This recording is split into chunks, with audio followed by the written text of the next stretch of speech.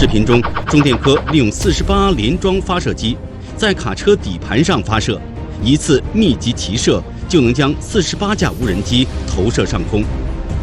无人机在被发射出去后，机翼会弹出，自身动力系统开始工作，无人机进入巡航阶段。发现目标时，无人机就会化身为导弹进行攻击。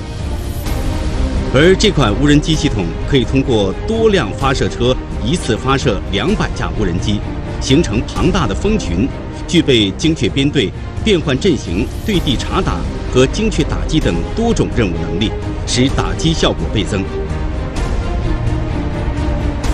除了能够陆上发射，这款无人机蜂群系统还可以采用空中悬停投放、机动投放的方式，利用蜂群进行对地侦察、打击、精确定点清除等各类任务。视频中展示的陆空协同固定翼无人机蜂群系统，是我国首个实用化的无人机蜂群，展示了无人机蜂群的全流程任务能力。